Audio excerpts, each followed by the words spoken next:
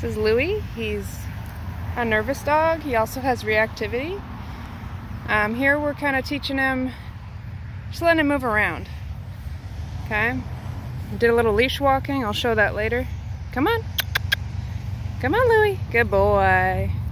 Just making sure he trusts me and listens to me. Getting him to move is good for him to loosen up because he's really uptight. Um, getting him to work for food. Luii. Come here, Luii. Make sure he takes food. Good job. Good boy.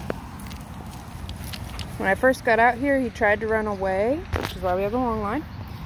And, you know, I just said no and moved away and made him come back to me. And now he's starting to trust that what the rules are.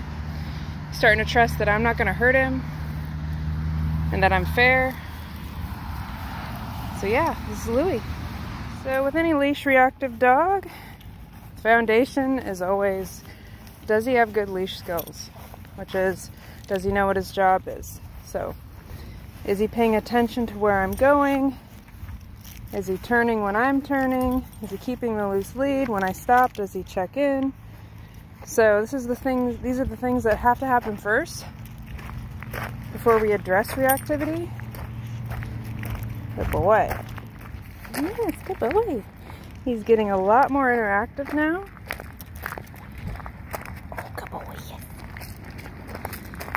After we did a lot of those turns and he realized that he has to pay attention to where I'm at, all of a sudden he wants to check in more and he wants to work for food more. Yes. Once you get rid of that nervousness and anxiety by, yes, by laying the foundation of the leash rules, then the dog starts to become a lot more interested in you. Good boy.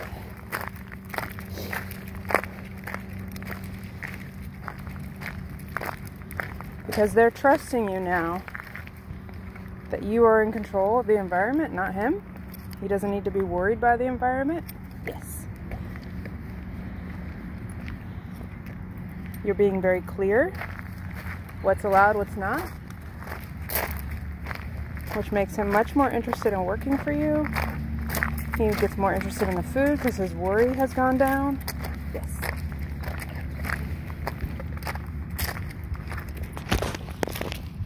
Good job. This is a good session. Sit. Nope.